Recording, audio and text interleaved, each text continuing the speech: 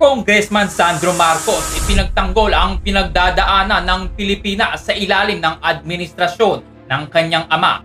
Maraming mga Pilipino ngayon ang nakakapansin na sa patuloy na pagtaas ng peso laban sa dolyar na umabot na sa halos 59 pesos, katumbas ng isang dolyar, pinakamataas sa history ng ating bansa.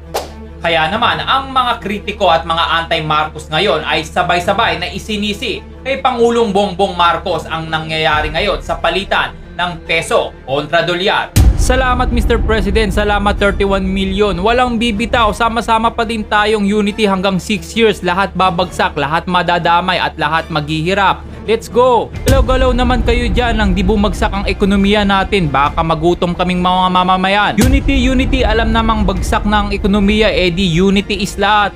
Ngunit tila nagulat ang mga Pilipino at mga anti-Marcos sa matapang na paliwanag ni Congressman Sandro Marcos kung bakit mahina ang peso kontra dollar at dapat hindi isisi sa kanyang ama na si Pangulong Bongbong Marcos.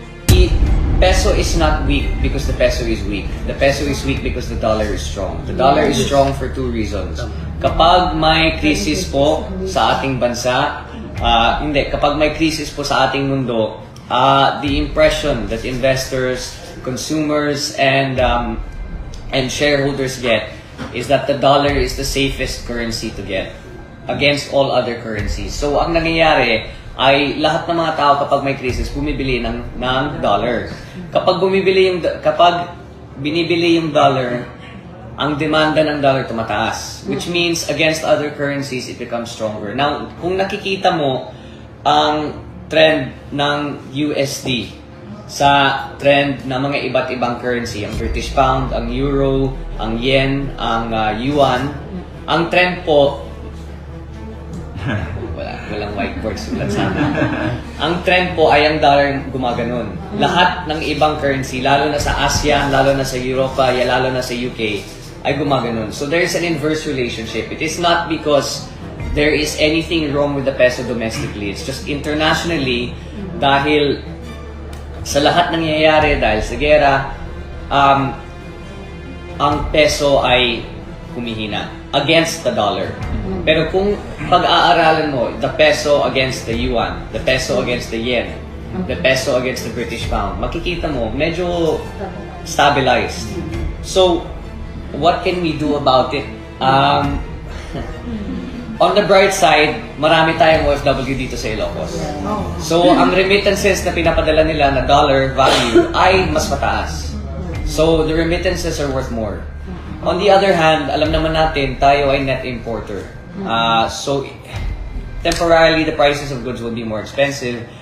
It's partly to do with Russia and Ukraine. Uh, another explanation about it, I don't want to get too into it, pero nung pandemya, um, the Fed, uh, the US government, nag-print sila ng, ng US dollar. So, medyo dumami ang supply ng dollar. Eh ngayon, ang daming bumibili. So, yung daming supply became worth more. Which is uh, essentially as a result of what's happening.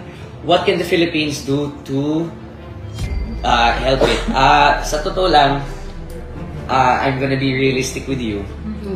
We, maliit na bansa lang tayo. We have a significant amount of dollar reserves.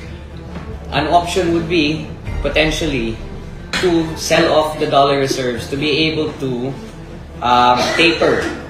Tataas pa rin. Tataas pa rin yung value ng dollar pero hindi gaano kalaki kumpara kung hindi mo gagawin yung sinabi ko. Which is to sell off our dollar reserves. But, dahil nangyayari to, hindi lang sa atin, kundi sa lahat ng ibang bansa, kahit bebenta ka ng dollar reserve, walang masyadong maapektuhan. Dahil ang dollar reserve natin kumpara sa UK, sa Europe, sa mga iba't ibang bansa ng Asia, ay napakaliit pa rin. So you have to think of it on a global scale and on a global level. Ang magandang, hindi naman maganda, but what's assuring is, is like I said, hindi lang tayo nasa sitwasyon na ganito. Lahat ng bansa ng ASEAN, lahat ng bansa na may euro, lahat ng British pound. Ang British pound ngayon, nasa 28-year all-time low. Noon, one, naalala ko nung nandun ako, 1.4 to the dollar ang British pound. Ngayon, 0.8. So, mababa talaga lahat. Lahat ng currency natin. So, I think uh, the best piece of advice would just be to sit back and hold tight. Isang pagpapatunay na ang ibang nangyayari sa ating bansa ay may mas malalim na paliwanag na dapat nating malaman at dapat huwag natin basta-basta isisi sa ating gobyerno. Kaya naman, ikaw bilang isang Pilipino, ano ang masasabi mo sa matapang at matalinong paliwanag ni Congressman Sandro Marcos tungkol sa peso laban sa dolyar sa ilalim ng administrasyon ng kanyang ama ni si Pangulong Bongbong Marcos? I-comment na ang iyong reaksyon sa video sa baba.